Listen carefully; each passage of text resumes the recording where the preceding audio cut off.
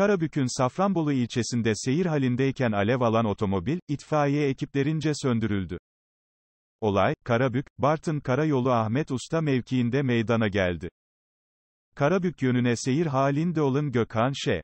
Otomobilinin motor kısmından yükselen dumanları fark edince hemen aracını durdurup dışarıya çıktı. Otomobil kısa sürede alev topuna dönerken, ihbar üzerine gelen itfaiye ekipleri, alevlere müdahale etti. Yangın söndürülürken, otomobil kullanılmaz hale geldi.